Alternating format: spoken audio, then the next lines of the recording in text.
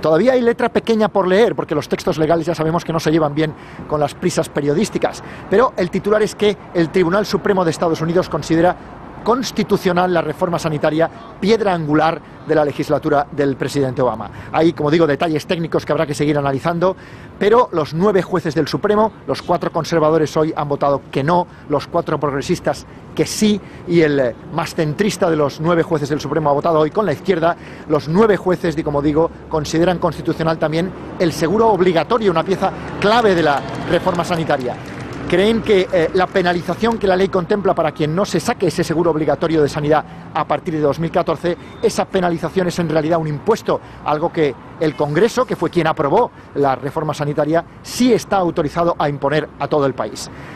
Eh, parece una victoria eh, crucial para la actual Casa Blanca y es también, eso parece claro, un enorme alivio para los más de 30 millones de estadounidenses que no tenían acceso a la sanidad y que a partir de 2014, pero la ley se va aplicando ya progresivamente desde 2010, van a poder tenerla.